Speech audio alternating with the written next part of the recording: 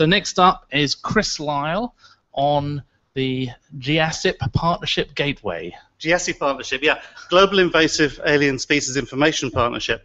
It's a, a voluntary partnership. It was set up about a year ago. Uh, a number of organizations who are specialists in invasive species, in information management, in informatics, and getting things done, getting things out there. And a key partner you will see there is the Convention on Biological Diversity. We're a partnership by virtue of signing an MOC with the CBD. The organizations are all committed to open access to information. Invasive species, a huge problem worldwide. Massive problem for biodiversity, massive problem for human livelihoods.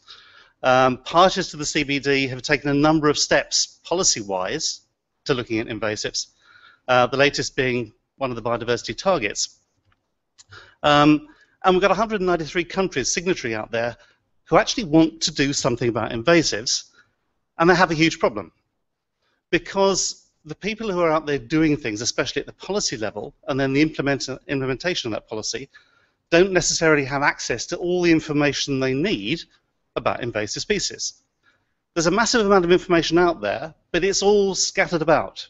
There are fabulous databases, fabulous tools, very, very difficult in some cases to find, especially if you're not a specialist in invasive species. That's our problem. And those people, those countries, have been asking for help through CBD COP decisions. We need more access to tools. We need more information, access to information. So that defines the problem. And it defines also the users. A lot of our users are not going to be specialists, are not even going to be very good at finding things on the web. It's amazing how difficult some people find it to use Google. It's a fact, it's a reality. So the partnerships come together to start delivering information. Now, it's not just digital information. We're doing a whole range of things, uh, including apps. Um, but information is a core thing. And a year ago, we had a, an international expert workshop here in the museum. And that workshop said, right, we need a website with such and such a set of properties and the Scratchpads really fitted that bill.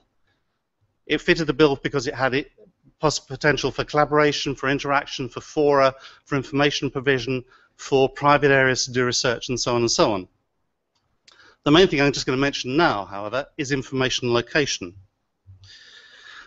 All of those bits of information, those websites out there with good stuff on, with tools on, the workshop said we need to make sure those are accessible. So we built a Scratchpad. We, we showed it at CBD COP uh, in October in Hyderabad um, with content, well, websites organized by content. Pretty useful. People were very impressed. Earlier this year, we had another expert workshop here, and we went through use cases. What are the questions people are asking? What's the information? How do they use the Scratchpad, the, the, the gateway, to find that information? Does it work? It does if you know where the information is to start with, the curse of too much knowledge. So we then realized what we had to do was to build something a little more complex and think of the workflows to understand where the information is actually going to be needed. And that's what we've been doing since, and again with the age of the Scratchpad team, particularly Catherine, we've been reworking those websites. We've now got about 600 websites and resources ready to be tipped into the Scratchpad um, to follow the workflow. And we're just writing that workflow at the moment so that people will be able to access the right resource at the right point in the workflow. We also use a species list. This is automatically looking up IUCN, EOL. As I said earlier, the partners have got a massive amount of information. We need to be able to access that better. So the next step is to actually build a registry. So we can start accessing the data within the databases of our partners in a much more structured way. And again, better work with the workflows of the, of the users. This is something which GBIF and NHM are collaborating on in particular. We're hoping to build in grant or seek funding later this year, early next year.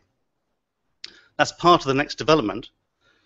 Another thing we're going to have to do is to make sure that the users can actually use it so later this year, I'll be in CBD SBSTTA, which is the scientific technical part, working with users, as we did in COP last year, setting them tests, seeing if the scratchpad actually delivers against their need. So what we're doing in this is we've identified a very broad, policy relevant, global area of work, and we're using the system to try and meet the needs of that area. Great, thanks Chris.